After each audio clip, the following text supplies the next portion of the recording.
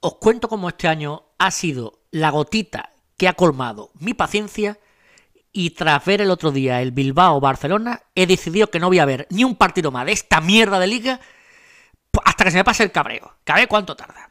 Empezamos la secuencia. Empieza el año.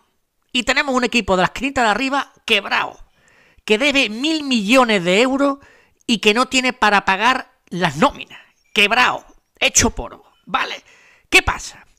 Pues las famosas palancas se ponen a vender activos futuros y va la liga y se lo acepta como presente, ¿vale? Con un flagrante mamoneo contable y de repente tienen dinero. Tienen dinero porque han vendido su futuro. Y, los tíos, en vez de usarlo para pagar las deudas, lo usan para endeudarse más. Y se ponen a fichar. Y fichan a 14 tíos. Y la liga le deja. Fijaros, por ejemplo, el caso. El pringado del Sevilla les vende a Koundé porque tiene que, cuadrar la masa salarial. ¿sabes? Y el Sevilla, que tiene mucho mejor situación económica que el Barça, que está quebrado. Bueno, pues empieza la liga con el palanquismo Mm, oficial, este ya. Ya empieza ya cabreado. Y ahora empieza la liguita y empieza a ver cómo va el, cómo opera el bar. Eh, Dembélé le mete una hostia a uno en San Sebastián y el bar no lo ve. Dembélé tiene que ser expulsado con el Getafe y el bar de los huevos no lo ve. El bar ve un penalti de Asensio por mano con el Girona que no sé de dónde lo saca. Marcos Alonso le mete una patada a uno del Valencia siendo último hombre y tampoco ve el bar la roja. ¿Vale? Eh, el penalti que le hacen otro día al Valencia y ahora el otro día ya va y uno del Bilbao resulta que toca con la mano a 23 segundos antes de un go y, también anula. Pues esto coincide con que haya salido el Negreira Gate. Y claro, tú ves el puto bar. ¿Cómo está? Que el jefe del bar es Clo Gómez. Clo Gómez era el brazo ejecutor de Negreira, un tío con el que el Barça no perdió nunca, nunca. Y ese tío es ahora el brazo ejecutor del, del el jefe del bar. Vale, y vemos el bar haciendo lo que le sale de las narices, de las narices. Porque antes, cuando estaba billar y no había bar, los árbitros para robar tenían que ser como armas de destrucción masiva. Eran bombas nucleares. Tú ves el, el, saldo arbitral y era 50 rojas más, 23 menos para ti. Ahora no. Ahora con el bar no necesitan robo manifiesto de ese tipo. Ahora tienen que ser. Ahora sí que el bar es el robo con precisión. Es el robo francotirador. Snipers en jerga de guerra. Ellos no tienen que estar robando a, saco. Ellos cuando Dembélé da un codazo en San Sebastián, pues no lo ven. Un fallo, un fallo humano. Dos puntos. Cuando Asensio toca un balón en la mano que le da el pecho, no sé qué, pues ese hay que verlo. Hay que verlo y hay que decir que eso es penalti. Eso es un fallo humano. Dos puntos. Ya van cuatro. ¿Vale? El del Valencia el otro día, en la manita del de Muniain. Cuatro y cuatro son ocho. Y ayer atrás la raya de Asensio la pinta para acá, para acá, mira los huevos. Ahí está 6, 6. Un lado son 6, otro. Total, 20 puntos con 5 decisiones sniper. A sangre fría, como decía, diría Truman Capote. Entonces, hablando de Truman Capote, me tienen hasta el mismísimo Pote. ¿Vale?